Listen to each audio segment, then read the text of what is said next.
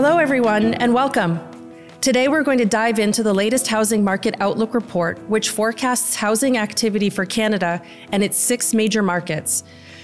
Joelle Hamilton here, and I'm thrilled to welcome Bob Dugan, CMHC's chief economist. Welcome, Bob. Uh, thank you for joining us today. Absolutely, yeah. Uh, today, we're going to be diving into an important topic. Um, it's one of our biggest uh, flagship reports, and that is the 2024 Housing Market Outlook Report. And I thought it would make sense for us to start with um, talking about uh, the, our future, like the future of our economy, um, and also uh, mortgage rates, as I'm sure that's on everyone's minds. The outlook suggests that there's going to be weak economic growth um, into 2024, uh, but that there will be a recovery or some improvement uh, in 2025 and 2026. How do you see changing mortgage rates and economic conditions? impacting buyer behavior and a rebound or recovery of our housing market? Well, uh, you know, when when you think about the economy, one of the key things that you have to understand is what's going to happen to an inflation because that's really what drives interest rates and the behavior by the Bank of Canada. We've seen great progress. You know, inflation in February was down to 2.8% year over year, well below what it has been, you know, since the pandemic. And so that's, you know, we're starting to see the light at the end of the tunnel now. So we've had a very, you know, stagnant economic conditions for some time now. Um, we don't expect 2024 to see any kind of strong growth, but because inflation is coming down, we do believe that the Bank of Canada is going to be in a position to cut rates in the second half of this year. And that's what sets the stage for stronger growth in the years ahead. So as interest rates come down, uh, we'll see, you know, variable mortgage rates come down in step. Longer term mortgage rates, not as much though, because you know we have something. There's a something called a yield curve, and it's inverted right now, which means that you know rates on 10-year bonds are actually lower than rates on two-year bonds, and that's a very unusual situation that has to resolve itself. And so that rebalancing of the yield curve is going to keep longer-term interest rates higher. So five-year fixed rates won't come down by as much, uh, but we will see some interest rate relief, and that sets the stage, of course, for a housing recovery. So we do expect to see you know stronger existing home sales and stronger price growth, you know, this year and in the years ahead. So the report also highlights a drop in housing starts uh, this year with a slight recovery uh, in the following uh, two years. Um, what's driving this trend and how will these factors impact overall supply and affordability? You know, with, with the housing starts forecast, key to the to our view is what happens to multiple starts. And so, you know, larger, you know, higher density kinds of starts like apartment buildings, those kinds of things. And what happens is the planning horizons for those things is much longer. And so last year, one of the key errors in our forecasts really was multiple starts or apartment starts stayed much stronger than expected because for a lot of these larger projects, the planning is done well in advance. So you know, financing, for example, would have been locked in at lower rates before they started to really increase. And so there was, you know, scope for for for those multiple starts to stay very strong last year. Uh, but now, when we do our market intelligence, we made a lot of calls to to, to developers and, and, different folks to, to to get an idea of the building plans. And what it looks like is this year um, the conditions aren't going to be quite as good for multi-starts, and the current economic conditions of high interest rates is going to be reflected more in the level of activity. Um, so we expect multi-starts to come down. Overall, though, single starts slowly improving, and then by next year we'll start to see starts moving higher again. Um, but that being said, well below levels that we saw a couple years ago. I think it was 2021, housing starts were around 270,000 units. In 2022, they're around 260,000 units. Starts are moving lower. This year, we're only expecting somewhere in the neighborhood of 220,000 units. And so, very low by recent year standards and not enough to close a supply gap. So, you know, we talk about this three and a half million unit gap in the in the supply of housing by 2030. If we want to close that gap, we have to double the pace of housing starts from where it is now. And if it, but we're not seeing that in our forecast. So in the long term, concerns about affordability if we can't build the supply to meet the demand, and we we could probably see you know house prices and rents increasing if we don't get the homes built. Well, that's actually a really great segue into my next question. We all know that home ownership is still out of reach for a lot of first time home buyers. Uh, Canada's population um, has grown uh, due to immigration, and many are choosing um, rental to rent. Um, what, like, can you explain kind of what's behind like this trend? Well, you know, so with immigration, it's a long-standing sort of fact that you know when, when they first arrive in Canada, they they tend to rent first, and eventually they move into home ownership. So when you have high levels of immigration, you know, last year, the year before, these are folks that are still in the rental market by and large. Not all of them, but most of them, and so that adds a lot of demand for rental housing. And then with higher interest rates, even though we've seen you know house prices move lower in recent years, uh, with higher interest rates, the financing costs or, or, the carrying costs of a mortgage are higher than they were uh, a few years ago when you know prices are higher but interest rates are much lower. So you know access to home ownership is difficult. We also have to people have to qualify at higher interest rates now that interest rates are higher.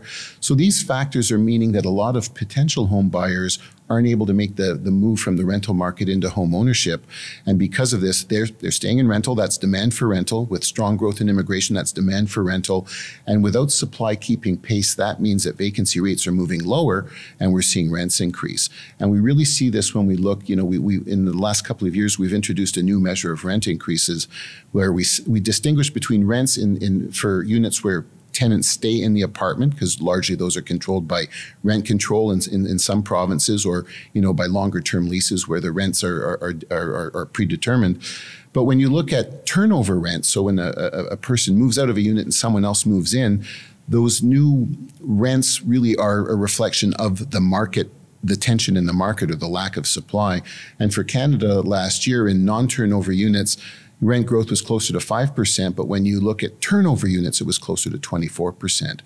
And there are CMAs like Vancouver, where in turnover units, the growth was actually closer to 33%, and in Toronto, closer to 40%. So that just gives you an idea of how the market being in short supply is really driving a deterioration in affordability for people in the rental market. So I read uh, in the latest outlook that housing prices are set to rise um, and may even surpass uh, record levels that we saw. I think it was back in uh, 2021 during the pandemic. Um, what's behind that uh, that trend? I, I, mean, it's a repeat of the story I just talked about. It's it's a supply shortage, right? And so we don't have enough supply of housing in Canada. So as interest rates begin to move down, and you know, there's a lot of pent up demand for home ownership, people that didn't buy in recent years because of high interest rates that are waiting to sort of jump in. Some of these folks will be entering the home home ownership market, and when that starts to happen with limited supply, that's going to put upward pressure on prices. So it's the the deterioration in affordability isn't just a rental story; it's also a home ownership story. So we need more supply of both kinds of housing, and so with strong demand or stronger demand, we're going to see increases in house prices on average in Canada this year, just under 5%, but by next year, closer to 9, 10% growth in house prices. And so um, that's just a reflection of the shortage of supply, the, the, the increasing demand, and so, an, uh, again, a deterioration in affordability likely for people in the homeownership market as well in the years ahead. I'm hoping you can expand on the two scenarios that are uh, presented in the Housing Market Outlook report. There's the pessimistic uh, scenario and uh, higher growth scenario. Can you explain both of them and their potential impact on Canada's housing landscape? Sure. Well, I think it's first important to recognize that forecasting is not an exact science. And so most forecasts, you know, when you look at them in hindsight a year later are wrong. Not, not that they're completely off, but they're usually wrong. So if we say GDP is going to grow by, you know, 0.3% this year, if it's 0.4%, you know, it'll, there'll be some variation around that. And so you have to sort of look at alternate scenarios where you try to anticipate, well, what could go better or what could go worse? And how does that look for the economy? And then how does that look for the housing market? Just to give people a, a range of outcomes so they can understand, you know, what our point forecast is, but also what kind of range around that there might be to sort of see, you know, what, what, what could the housing market look like in a higher growth scenario or a lower growth scenario. In our low growth scenario, we try to recognize the fact that you know, inflation has been more persistent than most people had uh, had expected. And you know, when you think about interest rates and, and you look at people's expectations for interest rates, the cut in interest rates keeps being pushed down the road by higher inflation. And so right now our point forecast is rates start to come down in the second half of this year, but if inflation is persistent, the Bank of Canada will have to keep the fight up against inflation because they have a target of 2%. They want to get inflation back down there and you know their credibility rests around their ability to achieve that objective. So they want to make sure inflation moves back down towards 2%. If progress is slower, that means interest rates stay higher. That slows the economy, but it also puts pressure on Canadian homeowners because we have a high level of household debt in Canada and we have a lot of mortgages that have yet to renew at higher rates. So many homeowners that bought three, four, five years ago still have their low mortgage rates, but when their terms are up for renewal, they face a higher mortgage rate. That'll squeeze their budgets because now all of a sudden their mortgage payments go up because of the higher rates. And so these kinds of things are what we see happening in our downside scenario. Higher rates, households facing a higher interest rate burden on the debt that they hold, and that slows the economy. On the upside, one of the things that's helped, uh, you know, the the Canadian economy grow in recent years has been the strong level of immigration, and so um, stronger population growth due to immigration in the forecast period is part of what tells the story of why growth might be higher. But also, we assume Canada has a problem with labor productivity, and it's very low compared to other G7 countries. We also factor in a bit of an improvement in uh, uh productivity as immigrants get integrated into the labor force, and that improves productivity growth, income growth, and that leads to a higher growth scenario for the economy. In both these situations, in the high growth scenario, what it means is we're going to see stronger growth in demand for both rental and ownership housing. That means more upward pressure on, you know, uh, rents and home prices, and then possibly a bigger deterioration in affordability, offset somewhat by stronger income growth, but generally a bigger deterioration in affordability, uh, because we don't see starts rebounding enough to make up for the extra demand in this scenario. Um, in the lower growth scenario, of course, we get a little bit of relief on home ownership demand, but maybe more deterioration in the affordability of the rental market because if interest rates stay higher for longer and more people are burdened by their heavy debt levels, it's harder for them to get that make that move from rental to home ownership, and so you know uh, it'll mean maybe more of a deterioration in the rental market affordability um, and higher interest rates making home ownership less accessible for, for, for many Canadians. So you dove into a little bit of um, some regional trends, uh, but I'm hoping that you can expand on um, what's happening in Canada's six biggest cities.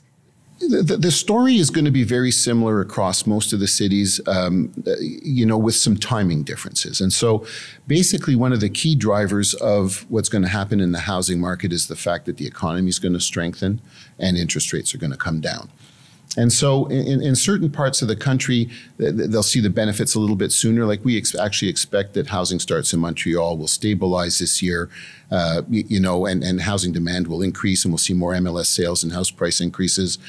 In Vancouver, uh, you know, they're, they're, one of the two cities. When I think about Toronto and Vancouver, these are the two cities where we had the biggest error in our multiples forecast last year. Then I was explaining earlier about how these are longer term horizon projects.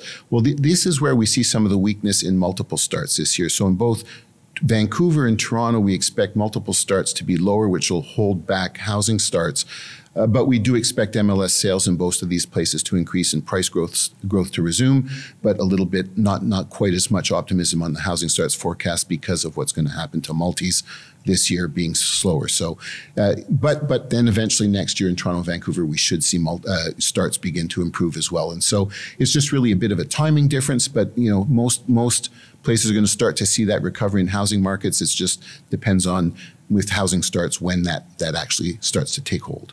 So we're down to my last question. Um, what like do you have any advice or uh, key takeaways um, for uh, builders, for policymakers that may be using the information contained in our in our outlook um, to make future decisions? Well, I, am hoping that this outlook, especially when you look at the housing starts, it really tells a story that housing supply is not going to bridge the gap we need it to according to our forecast right now, to restore affordability by 2030. As I said earlier, we would need starts to double the pace that we're forecasting each and every year.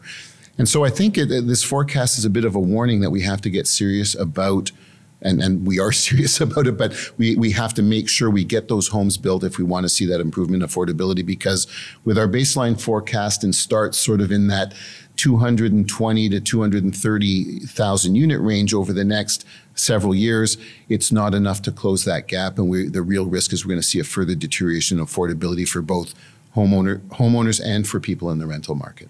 Bob, thank you so much for sitting down with me today um, and providing us with some really great insights into uh, the 2024 housing market outlook. Um, it's been a pleasure having you in the podcast studio today, and I look forward to you coming back soon. My pleasure. So long. And thank you to our viewers today. Stay tuned. In the coming weeks, we'll release our full housing market outlook, which will dive into additional markets. And we do want to hear from you. Feel free to leave a comment with your feedback on the report or this discussion. And be sure to subscribe to our YouTube channel for more conversations that matter here on our podcast. Until next time.